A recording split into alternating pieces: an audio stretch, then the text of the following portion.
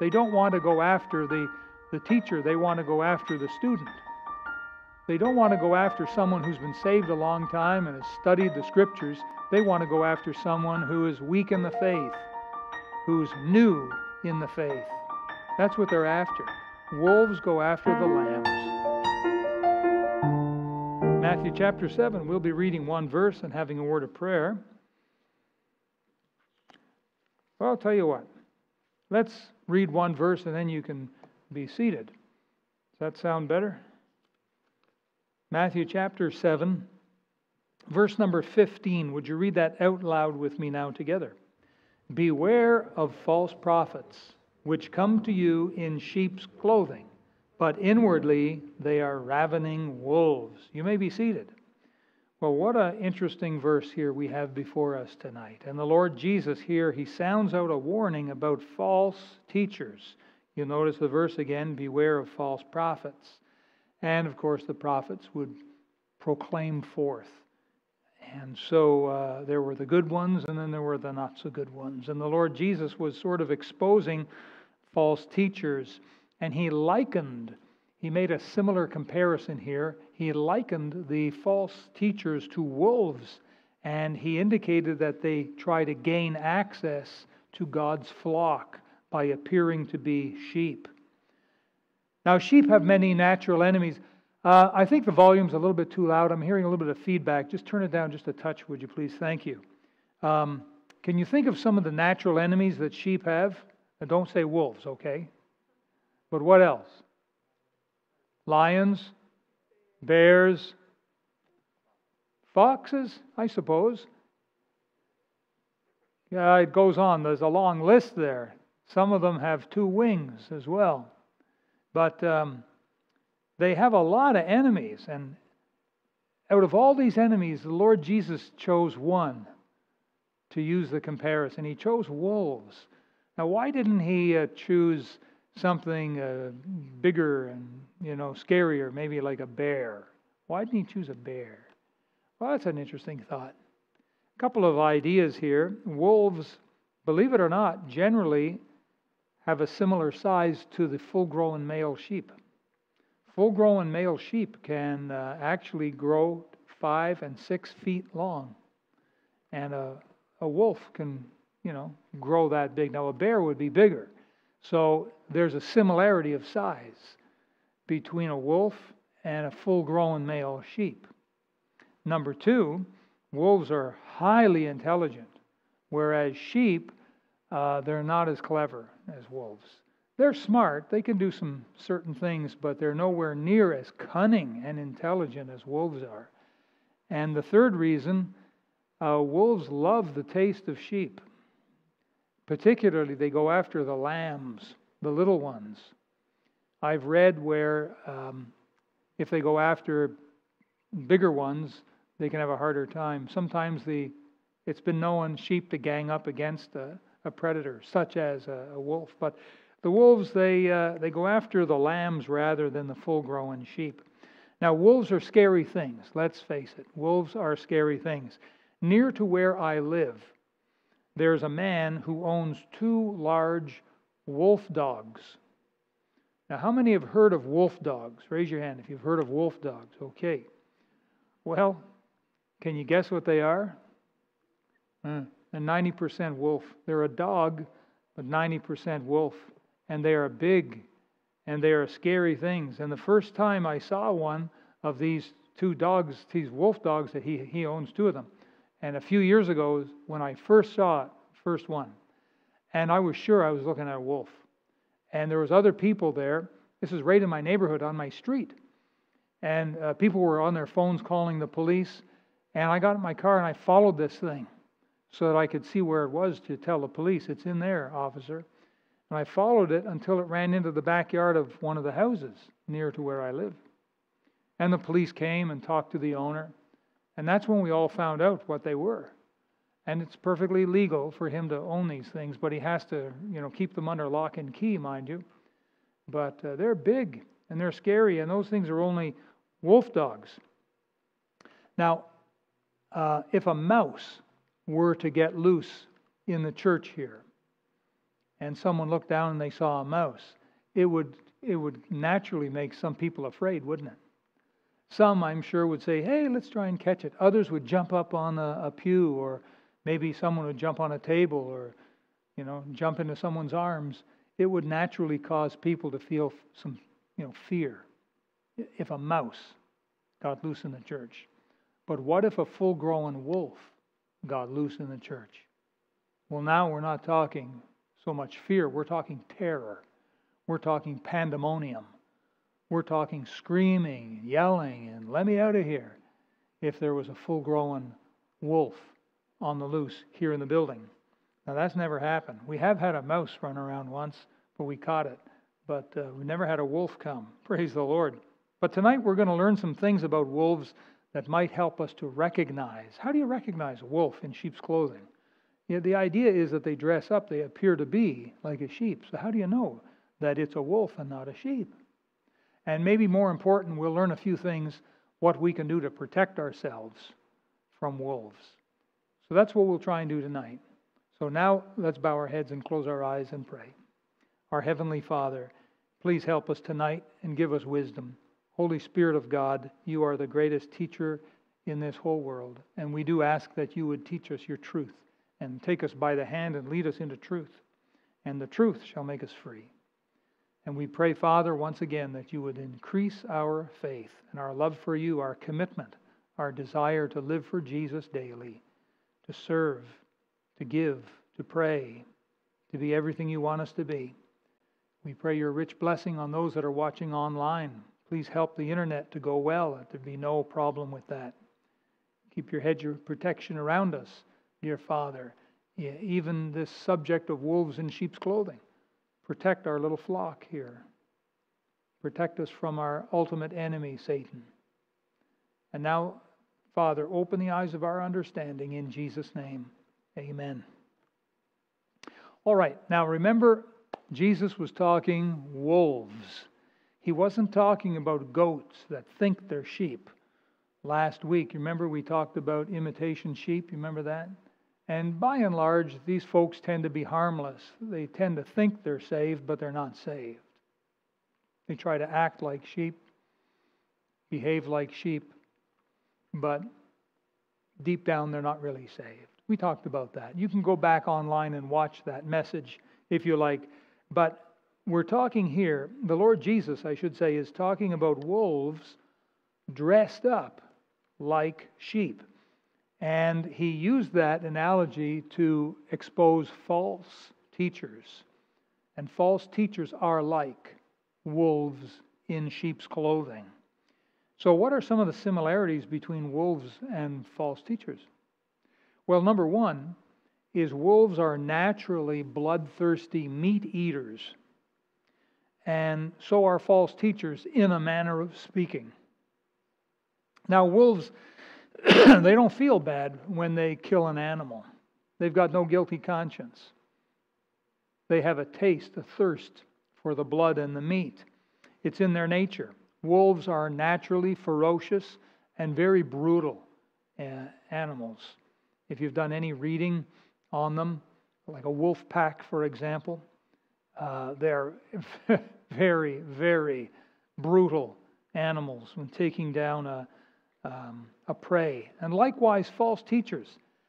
They have no sense of guilt when they tell you lies. The, uh, the wolf doesn't feel bad to kill the sheep, and false teachers don't feel bad. They have no sense of guilt for leading people astray. It's what they do. Now, take your Bible, please, and turn to Matthew chapter 23. Matthew chapter 23.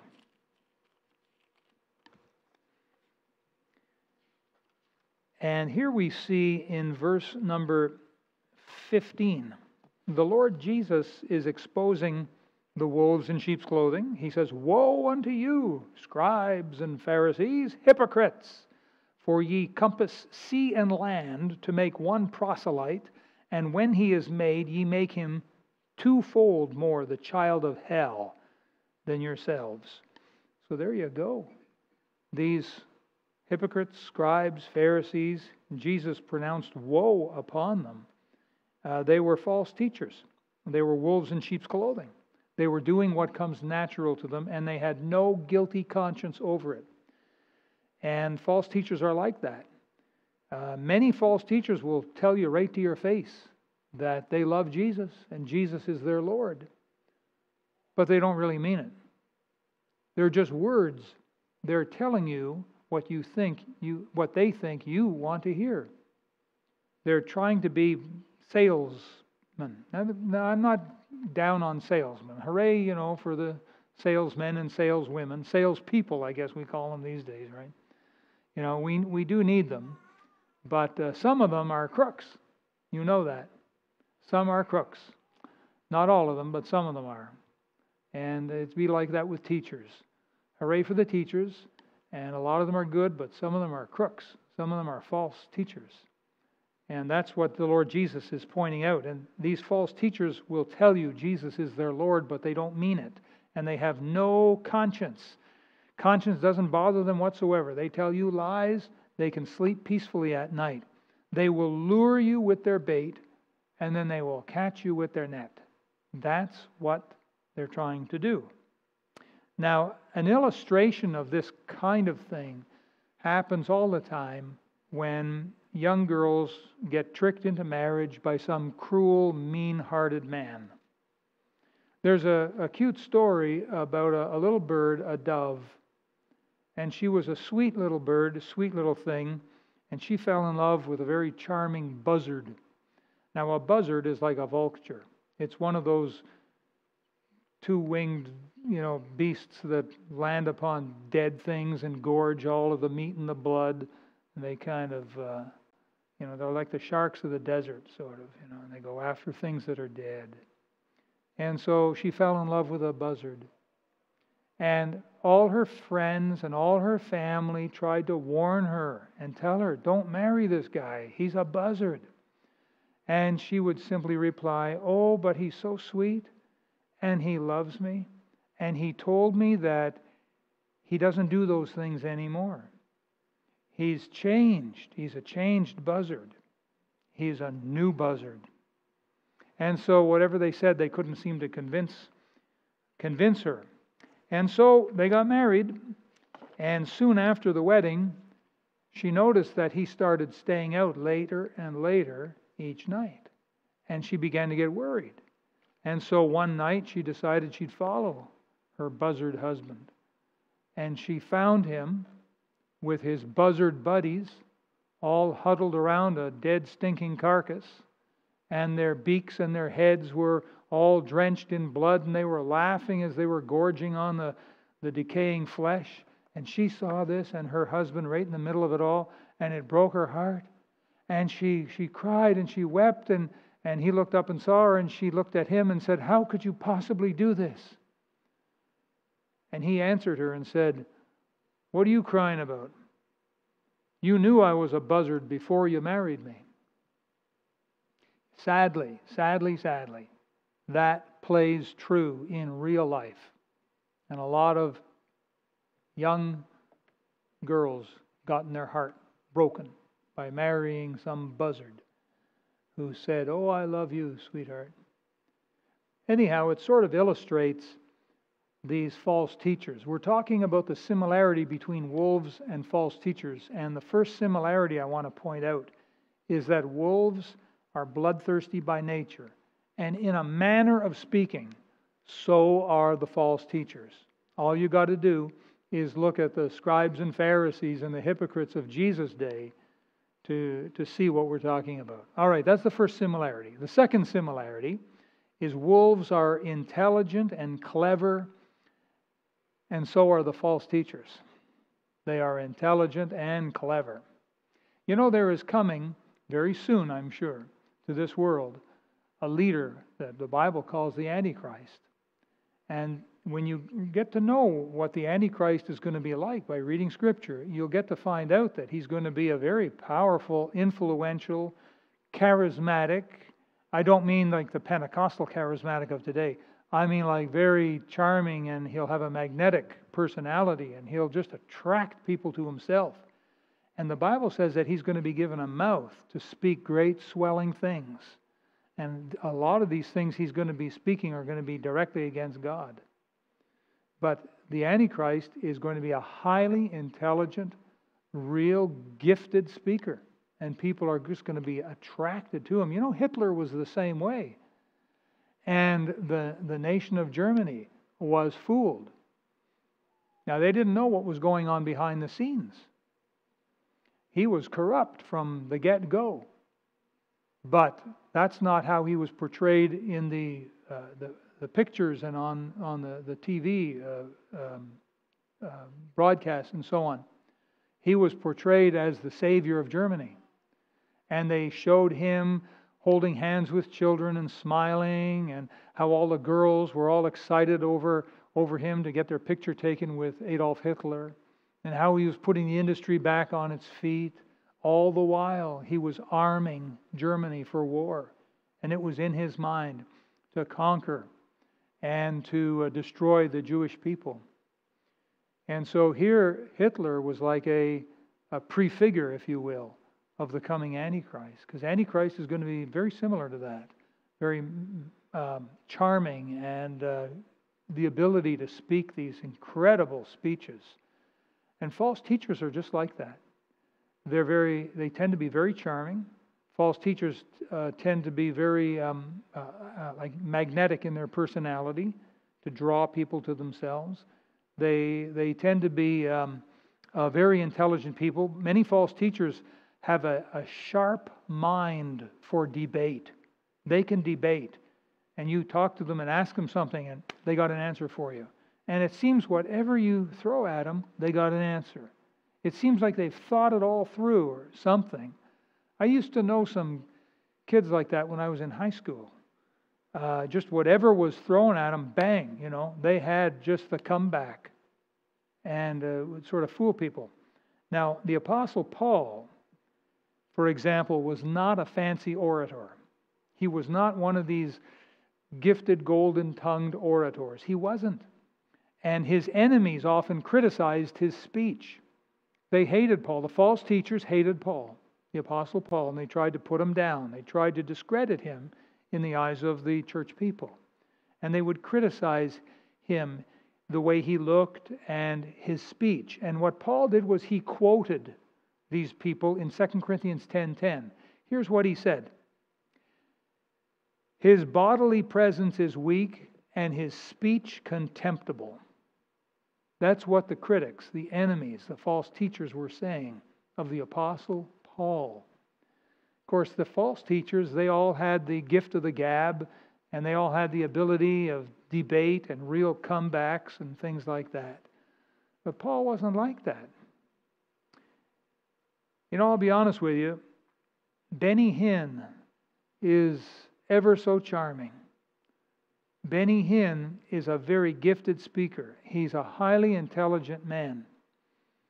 When the news media manages to get an interview with him and they question him about his phony healings, because you know this, you've heard, you, I'm sure you've heard of this. People that have claimed to have been healed and then found out they weren't really healed, or the healing wore off, or something like that. Or all of the, the people that get turned away from the healing lines because they have real honest diseases, and what he wants is to be able to heal people of a pimple, you know, or a stomach ache or something like that. Things that you can't see, things that are hard to check out. And so when the news media confronts him about his phony healings, or if the news media confronts him about his outrageous, lavish lifestyle, he always has these answers. He can come back with these answers that seem to shut them down. He's very, he's very polished, he's very gifted. But false teachers are like that. They're very good at what they do. Wolves are very clever when it comes to hunting down an animal. Do some reading on wolf packs, and it's amazing. The wolves, they won't just attack anything, they'll pick their prey. They're opportunists. They're looking for opportunity, and they're looking for a weakness. And they operate together like a team. You've seen uh, football teams and how each man knows what to do, where to be, where to go, when to turn, how to block, what to look for. They work like a team. A basketball team is like that too, a well oiled machine. And that's how wolf packs are. They're incredibly advanced, very clever. And when they lock on to a prey, they don't give up. I mean, it's like the whistle is blowing and they throw caution to the wind. They, they know what they're doing and they go after this prey. And they love it, the, the, the, the chase and the hunt. And so wolves are very, very clever. Uh, Jesus spoke here in Matthew 7 about wolves, plural. Uh, wolves don't usually hunt all alone, they often hunt in groups. And so when Jesus spoke of wolves, plural, it almost gives you the impression that where there's one, there's more. So they could be there with buddies, with others.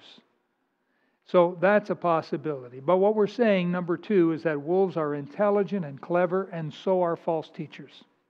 All right, number three wolves go after the lambs. That's what they do. They go after the lambs and the false teachers. They go after new Christians and weak or immature Christians. That's who the false teachers go after. Hey, I've been in the ministry over 40 years now. And I have faced down some of these false teachers. I've had to go after them. They never seem to come after me. They don't want to go after the, the teacher, they want to go after the student.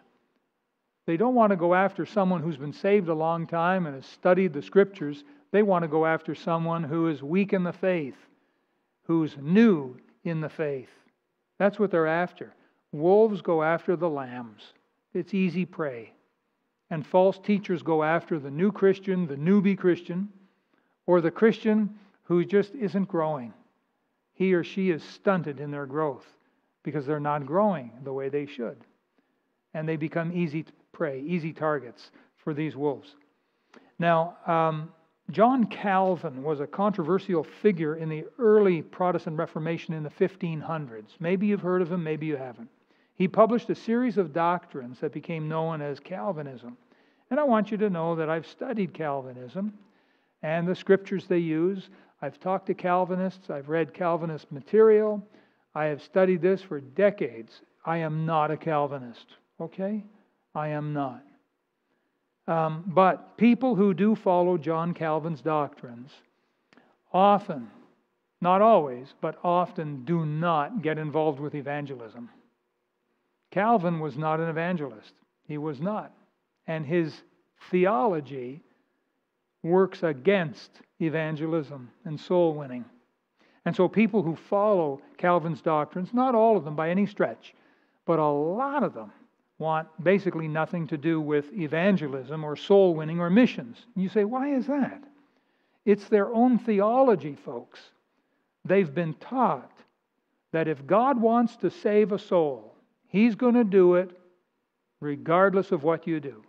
Some Calvinists go as far as to say that if you get involved with trying to witness to someone, you are going to frustrate the plans of an almighty sovereign God.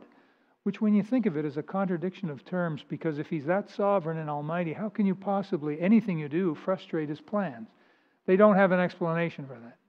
But the bottom line is uh, a lot of them want nothing to do with soul winning, evangelism, and missions. Now, I'm not saying all of them by any stretch. Charles Spurgeon, from time to time, he would uh, uh, refer to himself with some Calvinist doctrine, but he wasn't a hyper Calvinist. He wasn't a hardcore. He believed in soul winning. He had kind of a, a balance going there. And there's many other like him. But the five main points of Calvinism I have a problem with. I don't have a problem with God being sovereign. But listen, I'll tell you something.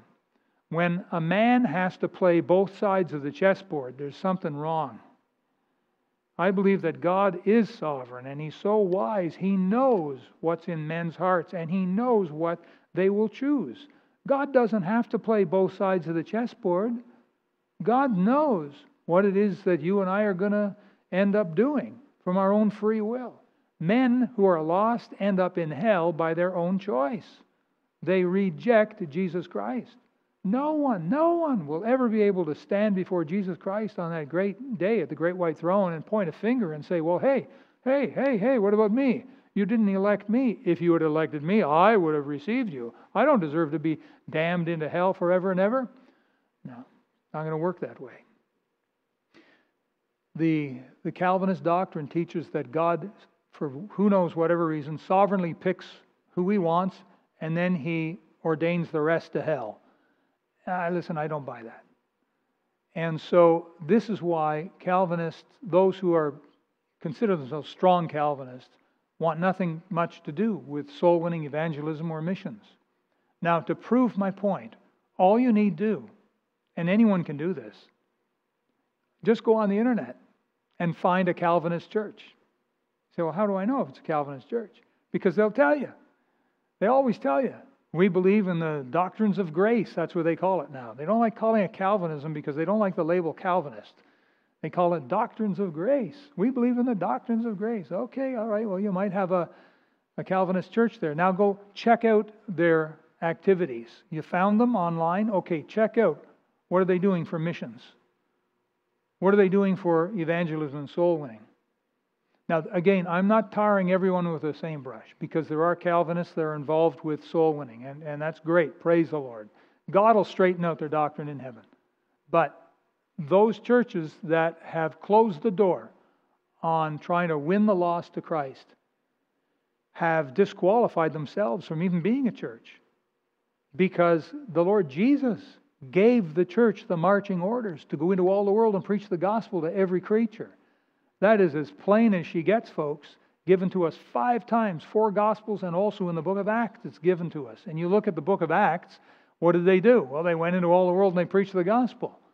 Uh, I wouldn't want to be a hyper Calvinist, you know, and stand before the Lord one day. So, uh, John Calvin, he, God has dealt with him, whatever, long time ago. But my point is this um, the facts speak for themselves. And we're looking at a wolf in sheep's clothing. Back in uh, the uh, 1981, my not 80 and 81, my last year in Bible college, uh, I was attending a church in London, Ontario, and I heard about a young man named Willie Oosterman. And uh, Mr. Oosterman was trying to build a church there in the city of London, Ontario. But he was a hyper Calvinist. And because of that, his own theology prevented him from knocking on doors and witnessing and giving gospel tracts and trying to win people to Christ. And so, what Mr. Oosterman would do is he would go into Bible believing churches and he would look for young and new believers and then he would try and engage them in theology and indoctrinate them and try and get them to leave that church and follow him. This was his method of building a church. We have another term for that. It's called sheep thief, sheep stealing. You know, these guys are going to answer to God for their actions and for what they, they uh, have done and are doing, and, and it's still going on. Wolves are able to sense weakness in a prey, and so are false teachers. False teachers, they, they get up close to you and they can look in your eye and they can ask you questions and they can listen to your answer and the sound in your voice and the way you turn your head and so on, and they can sense if there's weakness there or not. And they'll find the weaker believers and the, the baby Christians and these are the ones they go after. Just like the wolves go after the lambs, the false teachers will go after the uh, infant Christians, the vulnerable ones.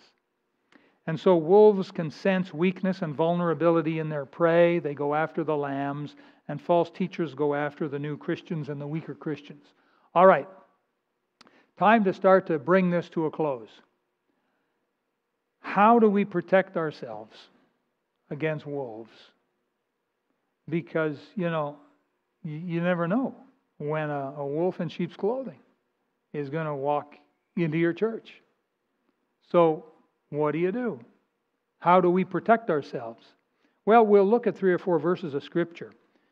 Um, here, I want to give you three points. Number one, The false teachers go after the weak Christians. So, like, this is obvious. The answer then is make sure you're growing strong in the Bible and stay close to the Lord. Now let's take our Bible and turn to the book of 2 Peter near the end of the New Testament. 2 Peter chapter number 3.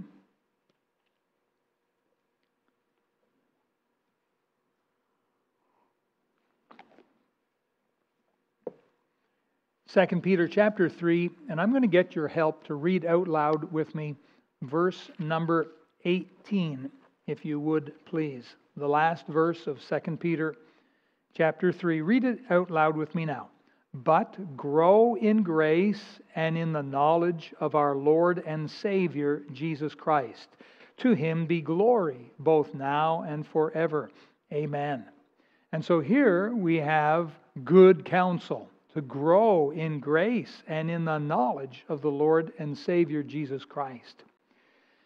Um, a few years ago, we had a young man attend our church, and he seemed to be born again, and he seemed to be on board with us with our doctrine and our programs. And um, he made friends with a couple of um, weaker Christians. Uh, and so uh, one day, I exposed a harmful false teacher on the internet, and he blew a gasket. Apparently, he loved this false teacher. And so he uh, quickly left our church and he influenced those two weaker Christians to leave as well. And that hurt when I saw that happen. You can't always tell um, if someone's a wolf in sheep's clothing. You can't always tell. Hopefully, you know, you keep praying and looking and asking good questions and keep your eyes open and the Lord will show you. But sometimes you don't know. Now that's that's not particularly um, a real fault, uh, because if you think about it, out of Jesus' twelve disciples, uh, Jesus knew who Judas was. Jesus knew that Judas was a wolf in sheep's clothing. But the other 11 disciples who lived, ate, slept, drank, worked right alongside of Judas, they never, they never questioned Judas. They thought that he was a very trustworthy guy. They let, they made him the uh, the the uh, church uh, accountant, the financial. he held the bag of money. They trusted him that much. Maybe they took a vote. Well, we need to have a someone look after the money here. Who's going to do that? I vote, I nominate, you know, Judas Iscariot. I second the motion. The finest man I know. All in favor? now maybe they didn't do that, but they all seemed to trust Judas. And he turned out to be a, a wolf in sheep's clothing. So you only the Lord knows. So anyhow, uh, that was a, a, real pain in my heart when that, when that young man took off and and took two more good young fellows with him. And so the point here is make sure you're growing strong every day. Make sure you're growing stronger. You're stronger today than you were yesterday through careful Bible study and through earnest prayer. You have to have a prayer closet. If you have a hit and miss time with the Lord, you are not as strong as you could be, and you might be a target for a crafty false teacher. Don't say it'll never happen to me. Point number two if you sense a wolf in our church, then you need to come and tell the pastor about it. We're talking health and welfare, folks. We're talking personal safety. If you sense that there's a wolf in sheep's clothing in our church, then you need to come and let the pastor know. Now, for this, let's go back to Matthew 7, back to where we began. Matthew 7, and of course, we read verse 15, right? About beware the Lord's words here beware of false prophets. So, false teachers. Now, look at the next couple of verses because the Lord is still dealing with this subject of wolves in sheep's clothing. He said in verse 16 concerning these wolves, these false teachers, ye shall know them by their fruits. Do men gather grapes of thorns or figs of thistles? And of course, the answer is no. Even so, every good tree bringeth forth good fruit, but a corrupt tree bringeth forth evil fruit. So he's telling us to watch the fruit, check the fruit. Verse 18 A good tree cannot bring forth evil fruit, neither can a corrupt tree bring forth good fruit. Every tree that bringeth not forth good fruit is hewn down and cast into the fire. Wherefore, by their fruits ye shall know them. And so, this person with the question mark over them, the person you're thinking, well, I wonder if this is a, a wolf, you need to check out the fruit, particularly the fruit of the Spirit. You need to check out if this person's life exhibits love, joy, and peace. You know, Galatians chapter 5 gives us the, the nine fruit of the Spirit there. Or do they seem to be always, you know, a bee under their bonnet about something? Are they always persnickety, you know, over some program or what the pastor said, you know, on Sunday morning or something? Are they trying to divide? Are they trying to steer people away from the church? That would be a good way, I think, to know. If they're trying to divide people away from the church, you need to let the pastor know. In Acts chapter 23, Paul was in prison, and Paul's nephew overheard a plot to kill Paul. There was a plan, an elaborate plan. And so the nephew went to speak to the chief captain and voiced his concerns. The chief captain was able to save Paul's life because the nephew went and shared his concern with the guy in charge. So, in a nutshell, if you sense that there is a wolf in the church, then you need to come and let the pastor know. Number three, and this is probably the most important one, maybe, is become, become a prayer warrior yourself. Learn how to become strong in prayer and pray for the church. And for this, I'd like you to, to look at Luke. Luke chapter 22. You'll see exactly what I'm talking about. Luke chapter number 22.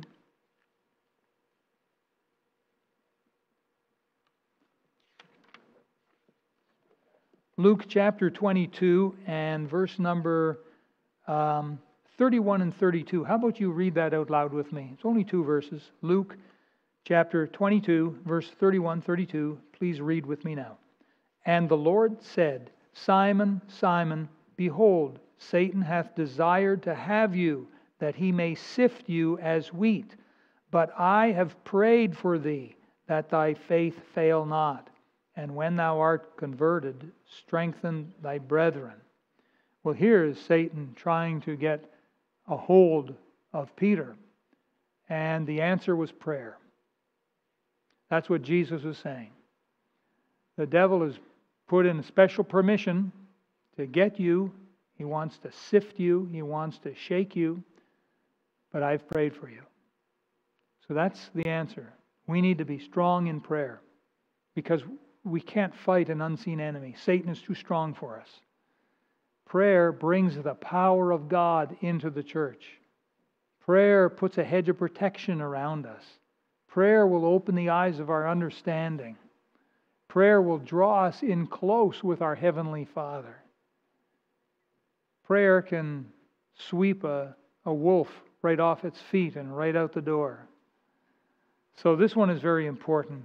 Prayer brings God's power, and we really can't afford to go a day without God's power. I hope with all my heart that every single one of us is daily specifically asking God for a hedge of protection around our home and family and loved ones and around our church. Well, remember that wolves are cunning just like the devil, tricky and cunning just like Satan himself, and, and false teachers are the same way. But false teachers really are not the only wolves in sheep's clothing to try to attack the church. I'll tell you something. It's my opinion, rock music in the church has long been a wolf in sheep's clothing. The Hillsong church movement has been in the news lately, and it's not very good. a lot of their uh, uh, habits and practices have been brought to light, and there's some horrible, horrible things that have been going on. And the whole Hillsong church movement is worldwide, and I think it's more of a wolf in sheep's clothing than anything. It's getting exposed. But something else, you know, there's a movement afoot to try and put God's people back under Mosaic law. And sometimes wolves will come in and try and tell you that you need to be obeying the laws of Moses if you really want to be right with God. That's a wolf in sheep's clothing. You watch that. We've actually lost people because of that. There are those that come into churches and say, okay, well, now you're saved, but now you really need to have all of the blessings. You need to have all of the miracles in your life. And they take you and run, run off to Benny Hinn meetings with you, or they'll go to some of these deliverance meetings where they uh, say, okay, demons, demons, you got demons in you. Listen, I believe in demons, I do. And I do believe that the Bible is right you know, when it talks about demons, but a lot of the stuff happening today in the deliverance ministry, and I've checked that out too for many years, it's a sideshow. So that's a wolf in sheep's clothing. Um, one last verse of scripture and we're done, okay? And I just want you to see this. Uh, Acts chapter number 20. Acts chapter 20. This ought to, this would be a good place to stop. Acts chapter 20, this verse here. These are the words of the Apostle Paul himself. Very important words. And he got together the pastors from the church of Ephesus, and uh, they had a little pastors' meeting on the seashore. And he was telling them some important things and had prayer with them. But in Acts chapter 20, verse 29, I want you to see what he said. For I know this, that after my departing, shall grievous wolves enter in among you. Now he's talking about the church at Ephesus. Grievous wolves shall enter in among you, not sparing the flock. Wow. Hey, if it could happen in the first century with the apostles still alive on earth, don't you think it could happen in the 21st century as the world is going crazy? And the church is becoming something we don't recognize anymore? Don't you think? Let's be beware, like Jesus said. Let's beware. All right, let's pray. Thank you, dear wonderful Heavenly Father. You're so good to us. Thank you that the Holy Spirit is the teacher of truth. Help us to daily be studying our Bible, praying earnestly, seeking to be filled daily with the Holy Spirit, to be controlled by the Holy Spirit. Lead us in truth, lead us in decisions. Please strengthen us in these last days. Now we thank you so very much for our time together tonight in studying the Scriptures. Help us to, to uh, maybe be, be aware of wolves. They're, they're still live and well here in Canada, right here in Surrey, BC. Help us to be on guard and to be prayer warriors and bless, we pray, this little flock in Jesus' name. Thank you for watching the message today. We invite you to join us again every Sunday and Wednesday for more inspiring messages from God's Word.